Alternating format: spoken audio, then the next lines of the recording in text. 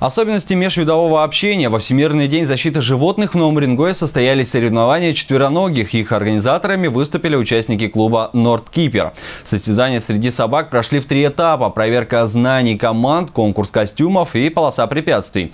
Питомцы в полной мере продемонстрировали все, чему их научили хозяева. Наталья Худяева продолжит тему. Пожалуйста, развернитесь. Сидеть, лежать рядом, выполнить нехитрые команды только на первый взгляд кажется легко. Найти общий язык у хозяина и собаки получается не сразу. Например, за этим результатом стоят недельные тренировки, тяжелый и кропотливый труд обоих.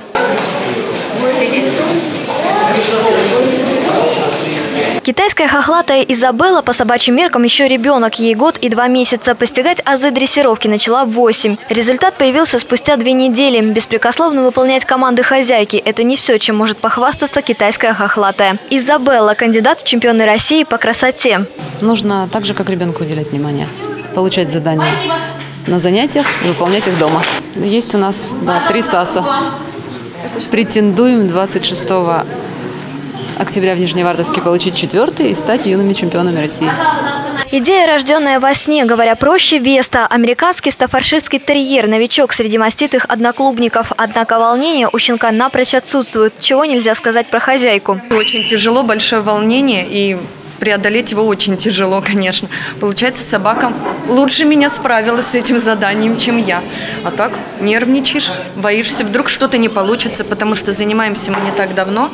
И, естественно, собака где-то, она еще маленькая, может не послушаться побежать за мячиком, как детки. Такие встречи в Нордкипере принято называть между собойчиками. Они не соревнуются и не хвастаются. Цель – показать, что любая собака обучаема дрессировке. Скалить зубы – здесь дурной тон. В кинологическом клубе уделяют большое внимание воспитанию своих подопечных. Я работаю в этой сфере уже 13 лет. Находить общий язык с животными достаточно просто. Намного тяжелее найти общий язык с хозяевами. К сожалению, очень много людей приходят с животными к нам и не остаются у нас, осознавая, какой объем работы нужно провести с животным, чтобы это стал достойный член общества. Потому что многие люди заводят собак, чтобы было, как декор, как э, красивая вещь, которая у них есть, которой они могут просто хвастаться.